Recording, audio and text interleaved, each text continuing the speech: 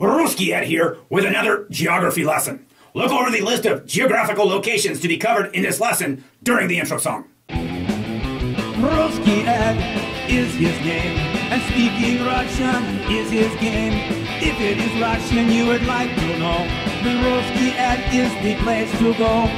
As you undoubtedly realize, Russia is a very large country. In fact, it has nine time zones. Such a large country contains many interesting geographical locations to learn about and explore, and in this lesson, we'll take a look at six more of them. So, давайте обсудим географию России, or давайте поговорим о географии России.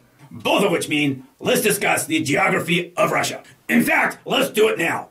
As you can see on this map, from west to east, we have the Caucasus Range, St. Petersburg, Yekaterinburg, Mount Narodnaya, Irkutsk, and the Kamchatka Peninsula in English, and Kavkazsky Hrebet, St. Petersburg, Yekaterinburg, Gora Narodnaya, Irkutsk, and Poloostrov Kamchatka in Russian.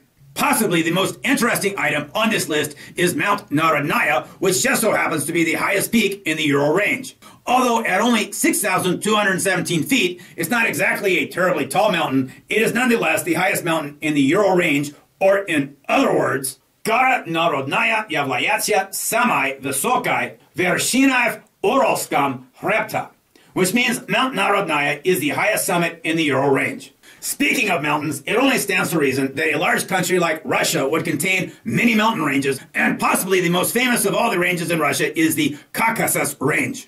Often simply called Kavkaz. It may also be referred to as Kavkazsky Hrebet, which means Caucasus Range, or Kavkazsky Gori, which means Caucasus Mountains. Moving to the opposite side of the country, we have the Kamchatka Peninsula, or Poloostrov Kamchatka in Russian which is famous for live volcanoes. As for cities on the list, we have St. Petersburg, which is the second largest city in Russia, Irkutsk, which is located near Lake Baikal, and Yekaterinburg, which is just east of the Ural Range. It should be noted that St. Petersburg was at one time known as Leningrad. Here's a list of the six geographical locations covered in this lesson again. Kavkaz means Caucasus, St. Petersburg means St. Petersburg, Yekaterinburg means Yekaterinburg, Gora Narodnaya means Mount Narodnaya, Irkutsk means Irkutsk, and Poloostrov Kamchatka means Kamchatka Peninsula. And now for a few review words in a couple sentences. Человек means person or man. Uja means already or by now. Praiti means to pass, to walk, or to go. Каждый means every or each. Got means year.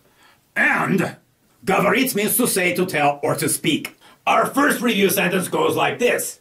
Еще один год уже прошел, which means another year has already passed. It should be noted that прошел is a form of пройти. Sentence number two is as follows. Каждый человек будет говорить, which means each person will speak. And that's it for this lesson. Rusky Ed, signing up now. Das Vidania!